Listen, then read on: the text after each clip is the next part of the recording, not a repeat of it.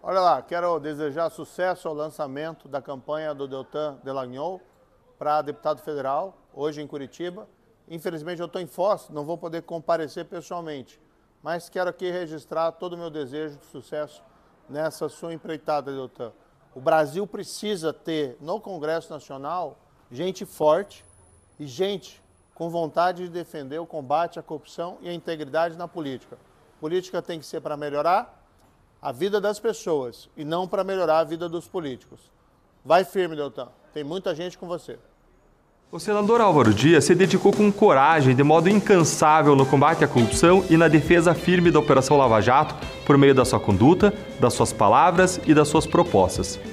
Precisamos de mais pessoas como Álvaro Dias na política que defendam o fim do foro privilegiado, a prisão em segunda instância e as reformas política, tributária e do judiciário.